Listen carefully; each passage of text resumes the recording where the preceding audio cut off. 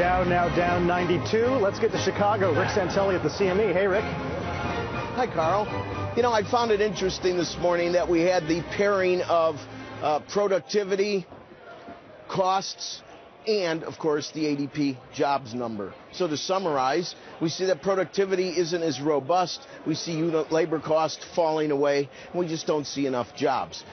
I, I read several papers recently, and one of the papers I read is uh, Rethinking Conventional Wisdom, a monetary tour d'horizon for 2013. Uh, it was in the February edition of Globe Asia, and I want to read a couple of things that were written by Stephen Hanke. Okay? The Fed's zero interest rate has exacerbated a credit crunch that has been holding back the economy.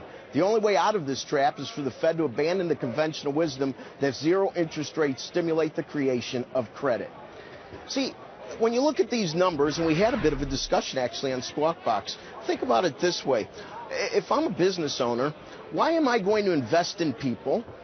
I have the costs of Obamacare coming up, and everything I've read, it, it, certainly doesn't look like they're going to be contained, and it doesn't look like they're going to be less than the shoddy system we were trying to fix.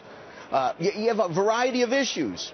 Uh, not only healthcare costs, but just the fact that you have benefits. You have a lot of things associated with the biggest cost on most businesses' balance sheet, the human cost. So instead, what do you do? This article brings up some great points. If I'm a business owner, hey, with zero interest rate policy, I can get some money, and what I'll do is I'll invest in software to basically get rid of people okay? I'll try to become more efficient. There is very little incentive for the hiring part of this equation. Let's bring up another paper.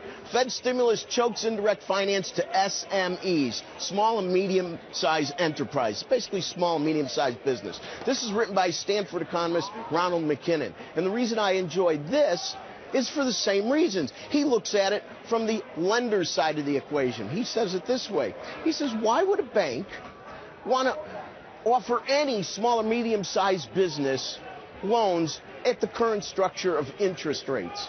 There's just there's not enough in it to take the risk.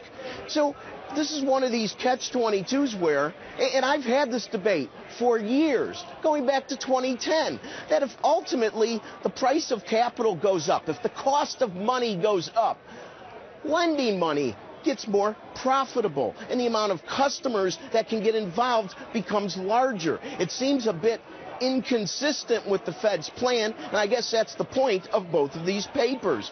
So, in the future, I think a lot of these economists that have been studying Japan for two decades have a lot to say because zero interest rate policy certainly wasn't the panacea for Japan. Back to you, Carl. All right. Thanks so much, Rick. See you in a little bit.